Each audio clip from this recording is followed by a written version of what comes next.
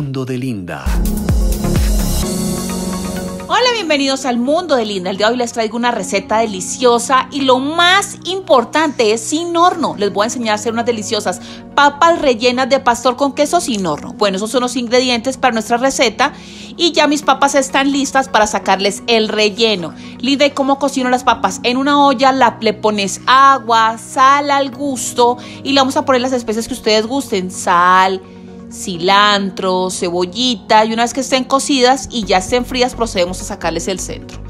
A este puré lo vamos a mezclar con una taza de leche con mantequilla para que quede cremoso, suavecito y sea más fácil triturarlo y que nos dé esta consistencia. Una vez que el puré ya está, le vamos a agregar especies a las que ustedes gusten. Yo le estoy poniendo en este caso un poquito de perejil, ustedes le pueden poner cilantro o cebollín deshidratado. Le agregamos crema, crema de leche, si no tienen le pueden sustituir por yogur natural, también le da un, es para que quede más cremoso nuestro puré.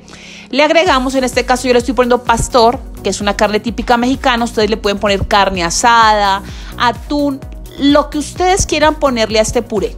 Lo vamos a revolver muy bien y un truco para que quede mucho más delicioso es agregarle queso. ¿Cuál queso? Queso el que se derrite, que se funde, para que nos dé esas consistencias que queremos de las papas. Acuérdense que todo ya está cocinado.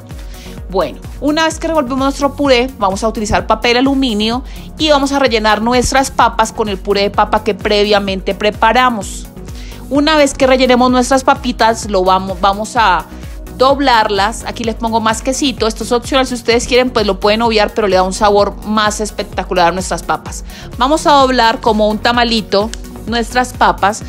De esta forma es más fácil voltearlas por una cara y por la otra. Mira, la idea es ponerlo 7 minutos por ese lado, luego lo giramos y 7 minutos por el otro. Ustedes dirán, linda, ¿y por qué esta papa está envuelta diferente? Porque esa la rellené de forma diferente, tiene otra carne adentro. Entonces, bueno, después de que pasaron 7 minutos por un lado y por el otro, las abrimos y van a quedar así de deliciosas. Las puedes acompañar con verduras, con ensaladas y están riquísimas y fáciles de hacer y sin horno.